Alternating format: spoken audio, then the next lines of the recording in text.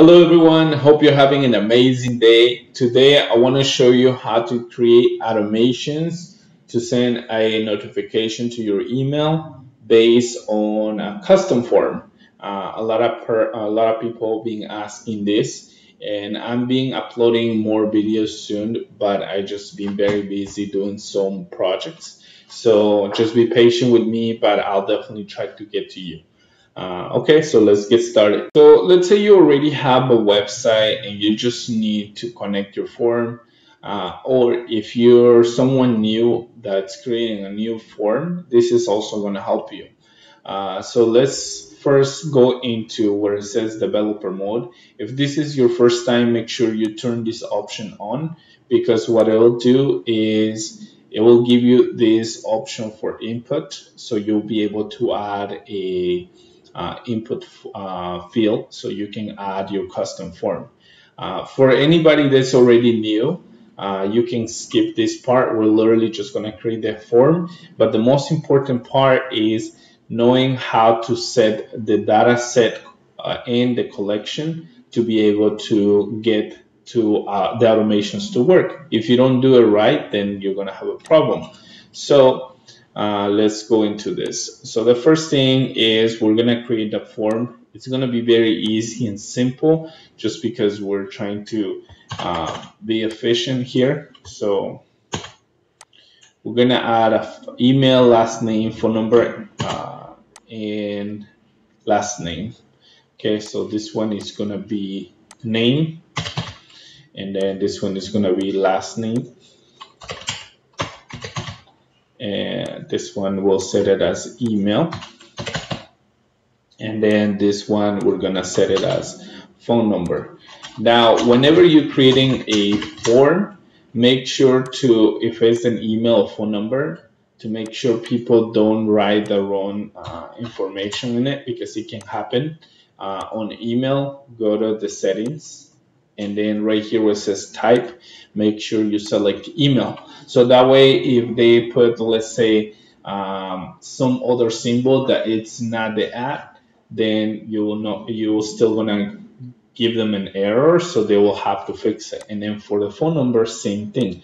Uh, what you want to do is you want to do uh, phone number so that way if they type a letter it won't it will give them an error.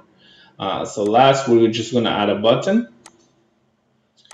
And then right here our folder is pretty much completed now we're going to create the collection if you already have a collection this is important that you decide what you're going to be doing because uh, any collection has to be done as a form submission if you don't have it as a form submission it's not going to work so we're going to go to manage content we're going to create a new collection and we're going to name this, let's say, job application. Okay. Now, once you do this, you're going to go where it says additional settings and see where it says set permissions for collections. You're going to name it form submission. Once you do that, then in this case, we're going to already make sure it's published because we're going to use it right away and then we're going to create. Okay, so once you do that, it's going to create a collection for you. It's going to take a few seconds and you don't need these options. You can use them but uh, in this case we're just going to hide these two because we don't need that. Um, the publish date and the draft date uh, the title you can use it. Depends on how long and big your form is. This is uh, something you can't change so it stays as a title. Uh, but this one we're going to add as a name. We're going to leave the field as text. And then we're also going to add a last name also we'll leave it as a text. And then the next one is going to be phone number. On phone number I will also leave it as a text just because uh, I might change in the future I might do other things so I'll just leave it as a text. But definitely because of the setting on the form is as a number they won't be able to add any letters. So save. Uh, but to it's totally up to you then email we'll also leave it as text now in this case we didn't add a description but if you add a description uh, depends on we're gonna add it here because it won't affect on our form Uh, depends if you want them to be able to change the font, the size of the text, you can do rich text. But if it's just a normal text uh, submission, you can just leave it like that. And then uh, we didn't add it, so it's there. So now we have everything ready. This message is right here because you have to publish the site in order for this to work. So we're gonna close this. We can publish now and then make sure if you have any other um, work going into your page that it doesn't get messed up because you're gonna make it live. But once we do that, now we can connect our form. So we're gonna go to Content Manager. We're gonna go where it says Main, Add Content Elements, and then here we can select Form Data Set. Uh, then we're gonna go to Settings we're gonna find our new uh, collection, which was job application. And then it's gonna stay as write only, this doesn't matter, and then everything stays like that. So we're gonna close that on name, gonna connect it to job application, right? And then this is gonna be name, this will be last name, this one's gonna be email, email and this one is going to be phone number. Okay and now uh, once you have that now the button it's very important. When you connect to the data set uh, make sure that once you click here it's going to select submit. Now there's two options that can happen here. One is that once the person submits a um, what's it called? Submits a form you can give them a success message on the page or you can have them send somewhere else where you have a thank you page. And that's very important to know because let's say after they submit something, you want them to book an appointment and you can send them to your calendar or somewhere uh, that's going to be useful for you other than just giving them like a message like thank you, right? So you can guide that user to do other things after they give you their information. So to do that, you can go here when successful navigate to and then you're going to click a link and then once you select a link choose where right so you can send them to a page in your website so if you created a thank you page or if you have a web address let's say it's a calendly or google account whatever it is you can paste here the url and then done and it should be good but if that's not something you want to do we can just leave it as stay on this page add a success message and a failure message. So we can make sure we add this here.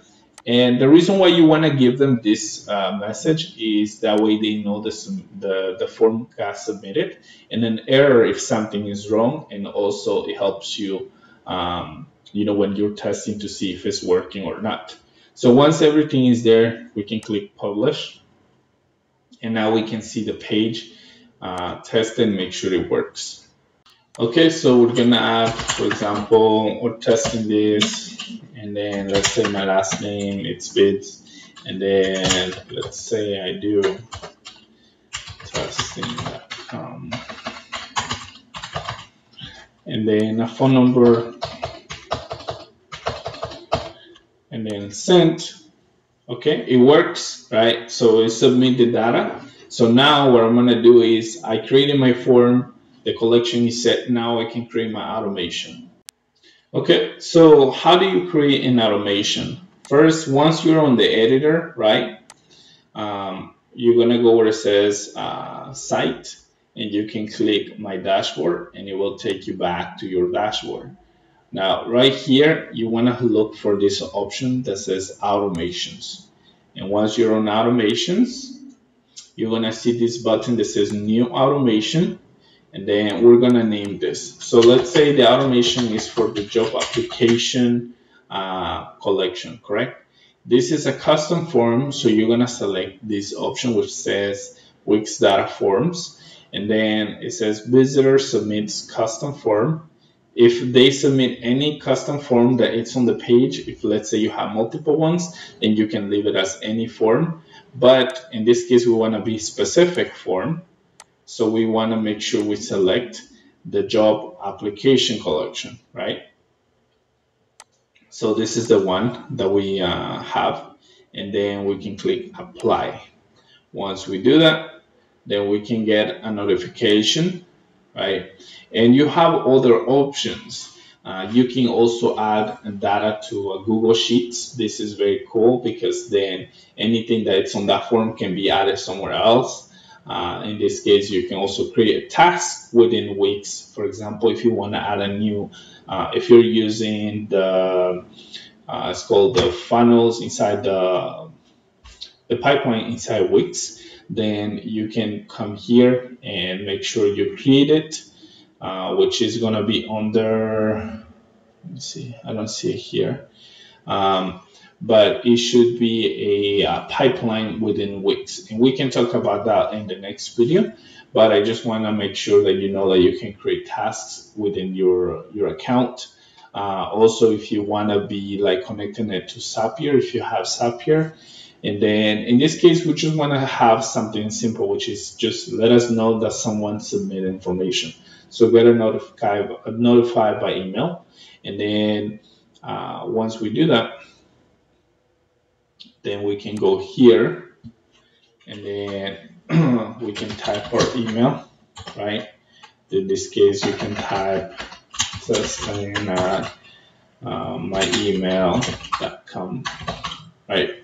So you can do many things and then the name that you wanted to say uh, was triggered visitor submitted a custom form or you can also say uh, there's a new submission uh, new job application and then here uh, if it's for let's say some people are using the same email, multiple people use the same email, you can also put a message so they know what it is. Uh, a new submission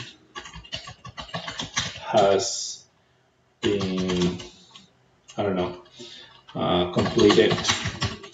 Please uh, verify information. Right, so whatever the message is, and then you want it to be immediately, and then once you do that, you just click activate. And now we can test, uh, test this.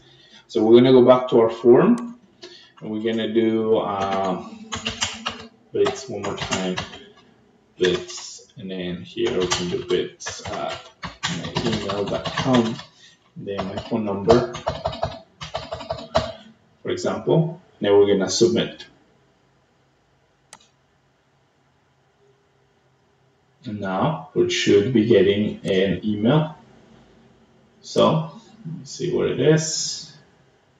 Okay, so after um, after I submit the application right here, then I got this notification. So it says new job application, new submission has been completed. Please verify information, right? So as you can see, it works.